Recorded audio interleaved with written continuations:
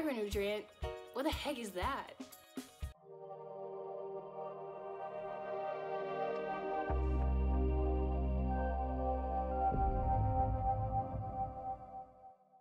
What's up guys, Savannah here from Blissful Bohemian Holistic Health for the Modern Day Hippie. If you're new to my channel, welcome, hello, so happy you're here. For those of you that don't know me, I am a degreed chemical engineer, AFA certified personal trainer, and your holistic health guru. This week at Blissful Bohemian, we are talking about fats.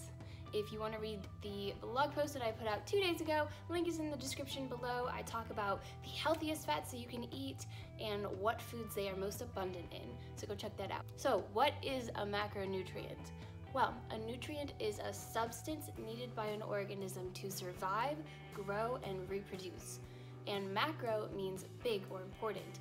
So a macronutrient is something that we need to survive. And the three biggest macronutrients are fats, carbohydrates, and protein. I have a blog post on macros explaining all about them. Go check it out. I'm gonna link that below as well if you wanna know more about macros and how they can influence you with your fitness journey. What are fats though? What are the macronutrient fats? Fats are a source of energy and serve many metabolic and structural purposes within the body.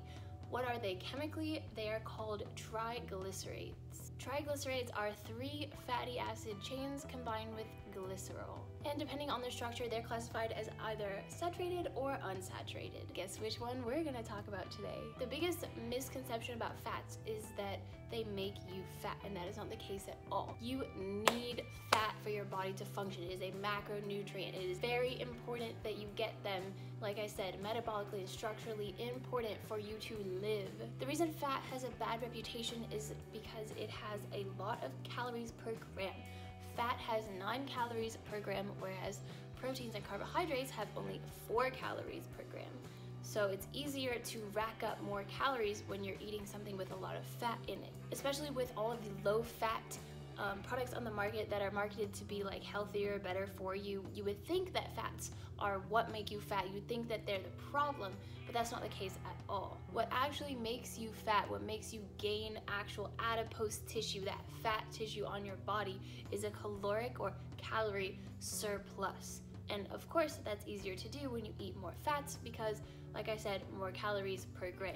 Of course, not all fats are created equally. Monounsaturated fatty acids, or MUFAs, are what you want to focus on.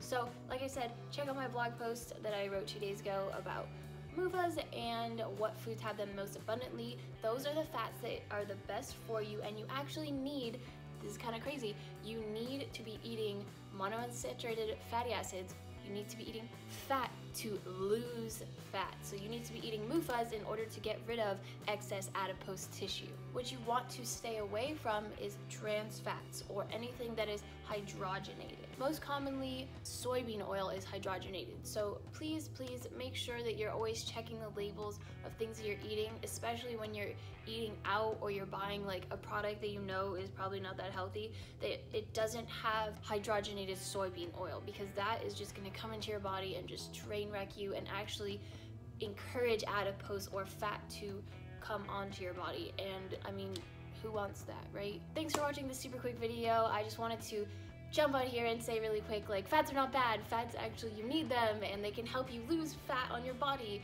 Um, but of course there are some bad and some good.